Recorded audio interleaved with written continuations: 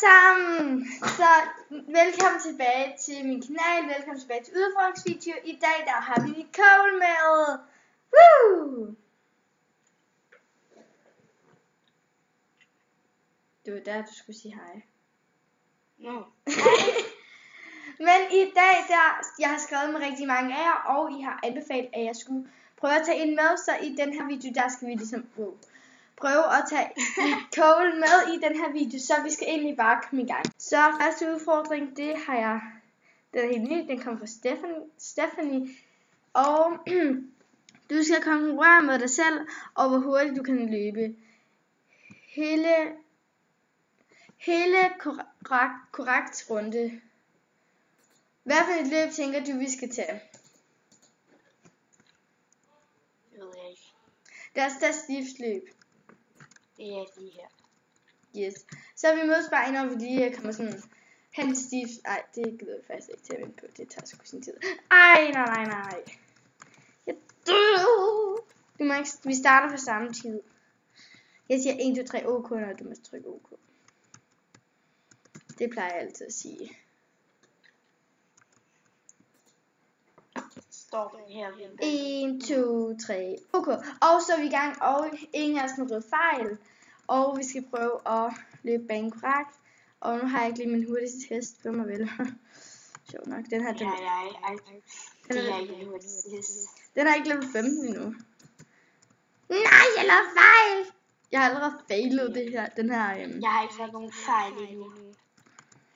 Jeg tror faktisk, jeg slår min rekord. Jeg har, lad os se om, øhm, okay, okay, vi tæller med point, så hvis det er, at du rider en fejl, du skal være helt ærlig. Hvis du rider en fejl i det her løb, så øh, står der 0-0, så er der ingen, der får et point. jeg har allerede tabt, fordi jeg lavede en fejl. Så det, jeg Jeg failede er helt, jeg er helt ærlig, og jeg har ikke lavet nogen fejl endnu. endnu. Okay. Men laver ingen fejl der, du er. Ui. Ej, der er en anden, der ringer til mig. Du må bare lige ignorere det, mand.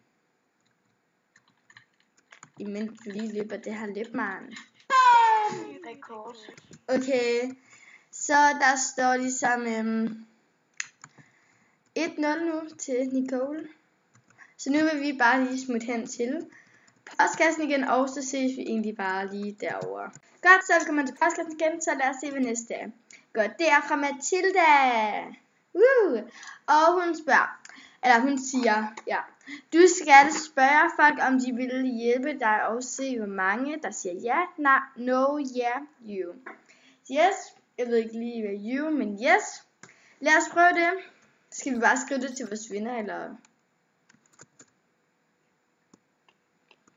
Det ved jeg ikke. Jeg skriver det til dem.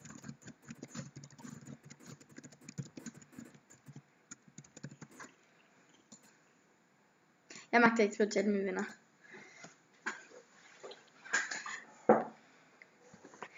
Yes, jeg har allerede fået to. Har du fået nogen endnu?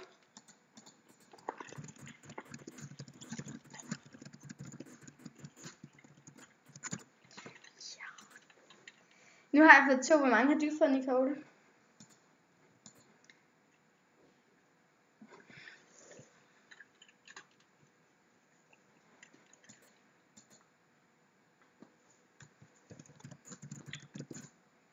Fået en.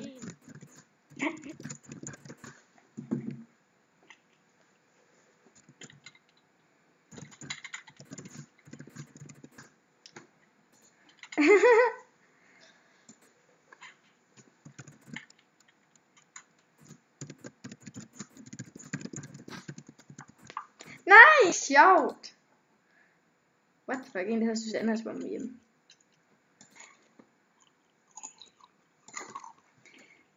Øhm, okay, jeg har fået...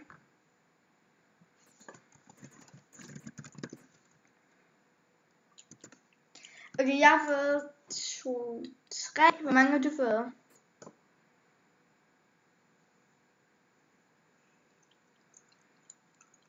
Nico, hvor mange har du fået? Hvor mange har du fået?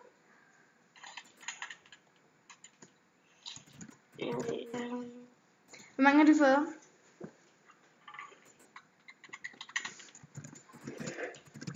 Hej. Uh, okay, okay. Nu har jeg fået tre, nej fire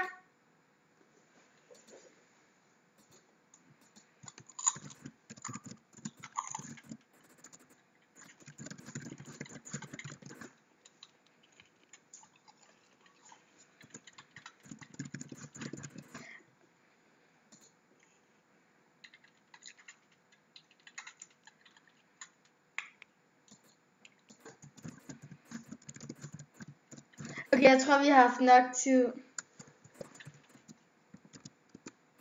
Nu tror jeg, øh, vi, har, vi har fået nok. Hvor mange fik du som hjælp? Ja, der fik jeg en to. Ja, så vandt jeg den her. Jeg fik 4. Ja. Så nu står der 1-1. Så øhm, vi går videre til næste. Så kommer vi hen til posthuset. Jeg tænker, vi ikke skal tage en til, fordi så overhælder jeg bare en. Øhm, det her, det var del 4. I må gerne sende flere udfordringer, fordi... Så nice er jeg. Ej. Øhm, tak fordi I kan lide den her serie, og jeg håber, I vil se mere. Ja, vi, ja, vi ses.